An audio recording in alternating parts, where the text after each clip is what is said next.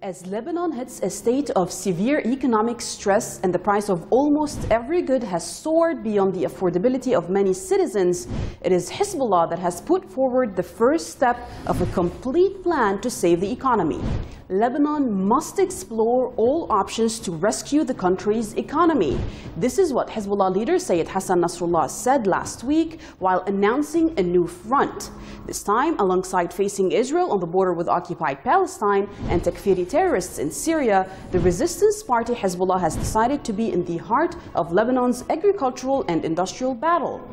With more insistence on confronting the American financial blockade, Hezbollah Secretary General Sayyid Hassan Nasrallah stressed that the economic policies that had ruled Lebanon from the 90s led to the current crisis, which the U.S. is exploiting to starve the Lebanese and subjugate the country.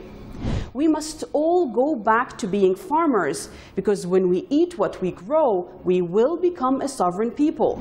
With these words, Sayyid Nasrallah began a lengthy explanation to clarify how the resistance will fight the battle of agriculture and industry. Touching upon the behavior of the U.S. ambassador to Lebanon, Dorothy Shea, and her constant hostile rhetoric against the resistance, Sayyid Hassan Nasrallah described Shea as the military governor of Lebanon, lashing out at Washington's meddling in Lebanese internal affairs.